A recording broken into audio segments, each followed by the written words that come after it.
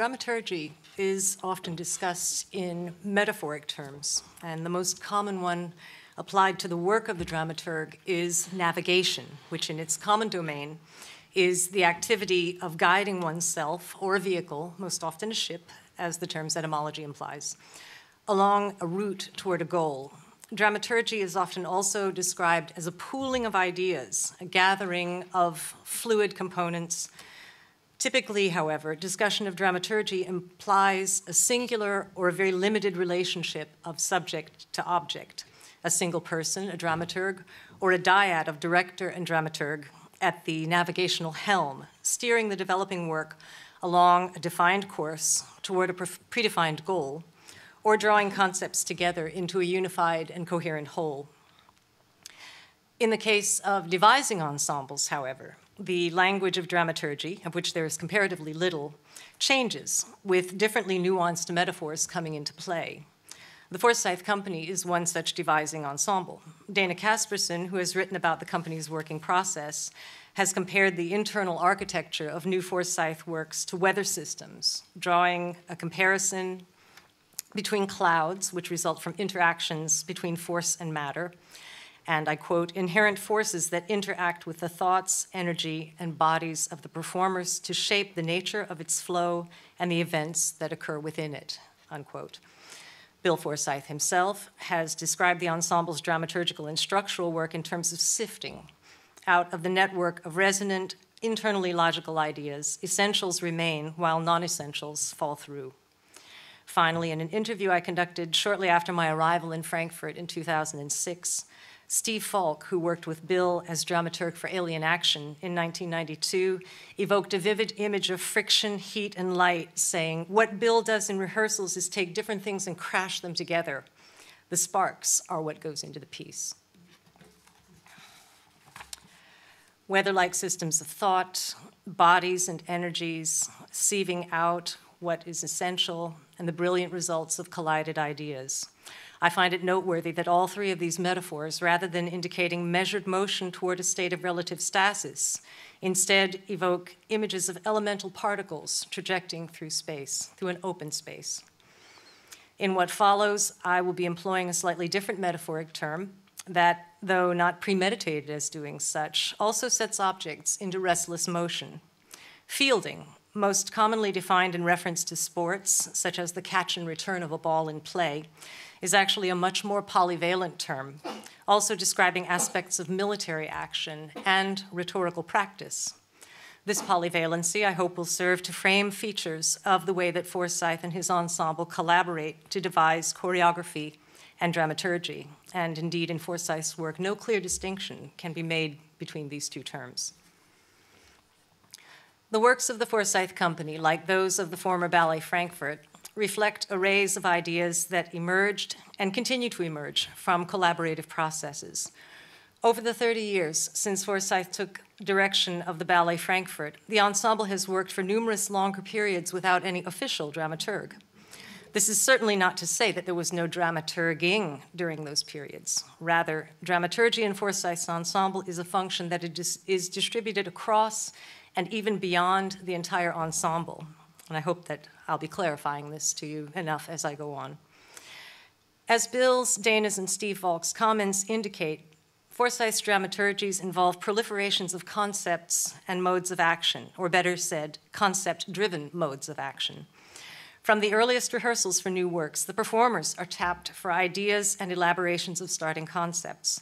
The beginnings of works, as Bill has commented, are arbitrary. It starts at any point, as he puts it. A choreographed phrase might serve as initial material, which, through the application of different constraints, generates a proliferation of diverse but related modes of moving. Spontaneous workshops exploring or fine tuning some movement skill might also render up initial themes. Sometimes Bill invites discussion of a philosophical or scientific concept, fixes on a joke or gag that someone has made, or posits an outrageous scenario. At other times, though, rehearsals begin with the company simply shooting the breeze. Any of these can spin off into modes of physical making or the generation of text, which, of course, is also a physical mode of making. The rehearsals that begin the making phase are characterized by a playful but thoughtful exploratory quality and a complete lack of urgency, at least for me. Bill?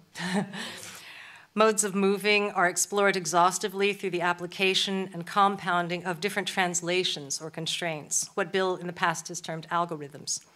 Over the first few days or weeks, depending on the length of the production period, several distinct registers may be brought into play. For example, for the 2011 work that would become Sider, rehearsals began with Bill holding mock interviews with the dancers, posing tongue in cheek questions as if the work had already been made six months prior.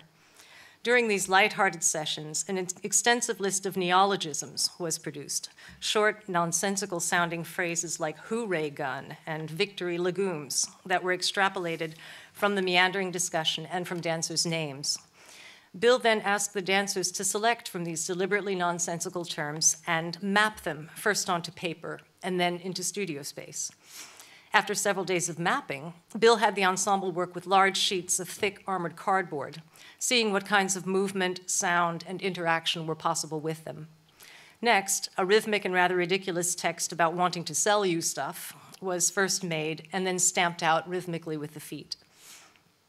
These arbitrary points, which are always explicitly bracketed by Bill as merely a means of setting the company into motion, thus serve to seed a field of ideas or one could say to field a battalion of concepts. Though sometimes left behind in favor of other associated ideas and processes, these initial materials often do return later and inform the resulting performance in unexpected ways.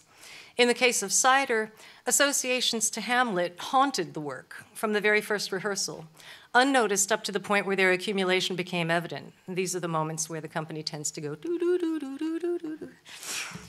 Twilight Zone theme. And Bill, never being one to resist chance occurrences, chose not long afterwards to invite Shakespeare's play into, in a more concrete manner. Within the ensemble's distributed dramaturgy, different individuals play different positions, as it were, contributing in different manners, at different times, and in different amounts. Performers often initiate new concepts or registers of actions, fielding ideas by bringing in books, images, sound, or movements this often happens late in the process, but Bill also often recalls things that individuals have had done earlier. Not infrequently, these full blown scenarios remain quite unchanged at premieres. One such danced instance of this sort of contribution is Fabrice Mazliah's evocation of a Mediterranean tourist dancing on and on late at night in total oblivion one of the opening images of the 2008 work, I Don't Believe in Outer Space, as well as a poignant fragment of the work's highly introspective dramaturgy. Others, including Dana Caspersen and Tilman O'Donnell, who is now affiliated with the company as a guest, often offer spoken content in this manner. On a side note, there are actually many more dramaturgical players in the field than the team of Forsythe dancers and myself, the so called dramaturg. Additional contributions may be provided by musicians, technicians, former company members, students, or others who visit the studio. During rehearsals for I Don't Believe in Outer Space, for example, cognitive philosopher Alva Noe, whose interests in embodied experience have led him to conduct research on and in dance making processes, spent several days in Frankfurt watching rehearsals and meeting with Bill and the ensemble dancers. Bill acknowledges Alva's ad hoc studio and private discussions of psychologist philosopher William James as having deeply informed the work, and later dubbed Alva our semi official philosopher in residence.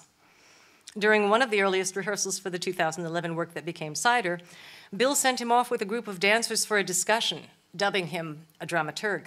And any insecure dramaturgs in the audience might be able to imagine how unsettling a moment like that can be. At other times, Bill seems to speak in tongues, channeling former collaborators or visitors, some of whose voices I recognize and some who I do not, from beyond the studio into the process. In cases like this, it's quite possible that these invoked individuals are dramaturging without knowing it. Often, and I'll come back to this later, it isn't clear at all whether or not Bill is deploying something from farther afield.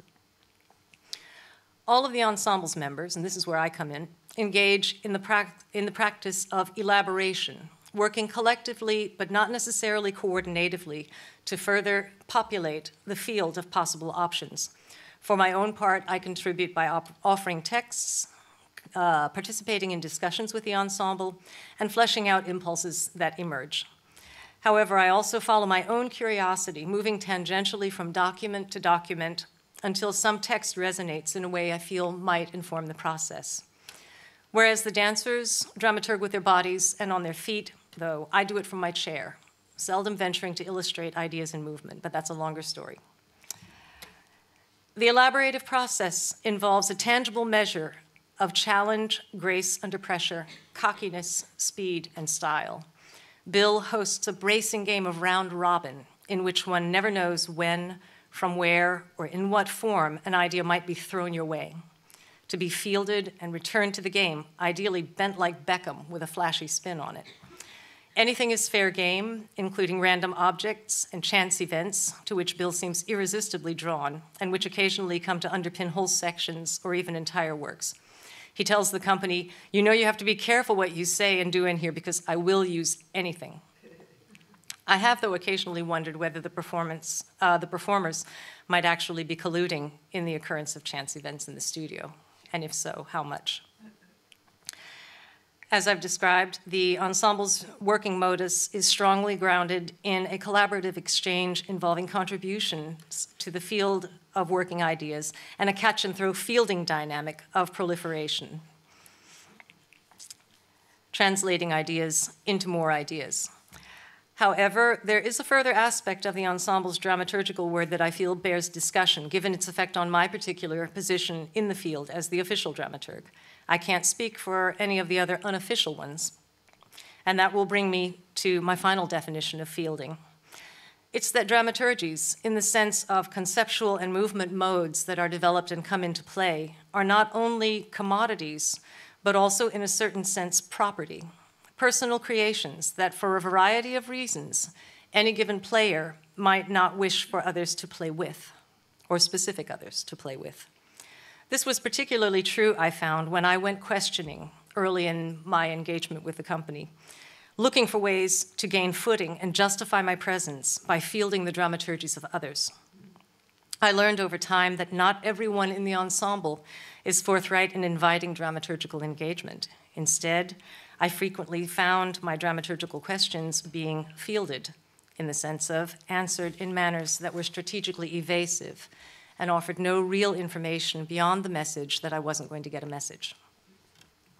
Over time, I learned who would play, who would discuss their dramaturgical thoughts with me, and who not, as well as when and from what perspective. I also came to view the company's weak dynamic of dramaturgical communication not only as a manifestation of individual autonomy, but also as a felicitous strategy which, in leaving words, works dramatically, dramaturgically in the air, unmoored and unbounded, also leaves them their most open to change. Bill, for his part, though, seems perfectly happy keeping the don't know mind, as the Buddhist adage goes, when it comes to what I refer to as danced dramaturgies. He might, for example, ask a dancer what they were thinking at a particularly effective moment, but then immediately recant and say, wait, I don't need to know. What's important is that it makes sense to you Bill, may, Bill himself may wait for days or even months after premieres to discuss his own dramaturgical perspective, often talking about performances as if he only came to know them more fully in performance. And this is why I never schedule audience talks in the week of a new premiere.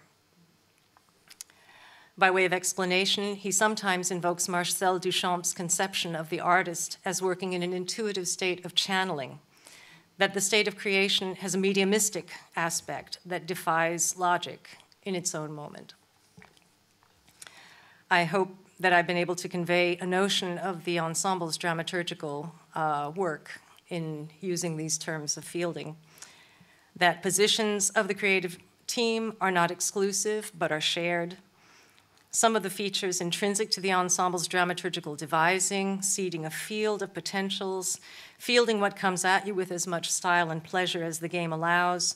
And for me, the work has meant acknowledging and support, acknowledging and supporting the different playing styles of my fellow co-dramaturgs.